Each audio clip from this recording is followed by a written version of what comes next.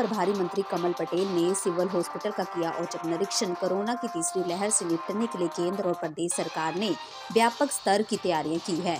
विधायक सचिन बिरला ने प्रभारी मंत्री के समक्ष मांग रखी कि सनावर नगर के शासकीय अस्पताल का उन्नयन कर इसे 100 बिस्तरों वाला अस्पताल तथा बेड़िया के शासकीय अस्पताल का उन्नयन कर 50 बिस्तरों वाला सीमाक हॉस्पिटल बनाए जाने की मांग की। ताकि क्षेत्र वासियों को समुचित चिकित्सा सुविधाएँ मिल सके। प्रभारी मंत्री पटेल और विधायक बिरला ने शासकीय अस्पताल में जन संयोजक से स्थापित ऑक्सीजन प्लांट का निरीक्षण किया और ऑक्सीजन उत्पादन प्रक्रिया देखी। प्रभारी मंत्री और जनप्रतिनिधियों को ऑक्सीजन प्लांट को चलाकर दिखाया गया। इस दौरान सिविल हॉस्पिटल प्रभारी हमसा पाटीदार सहित बड़ी संख्या में भाजपा नेता मौजूद रहे।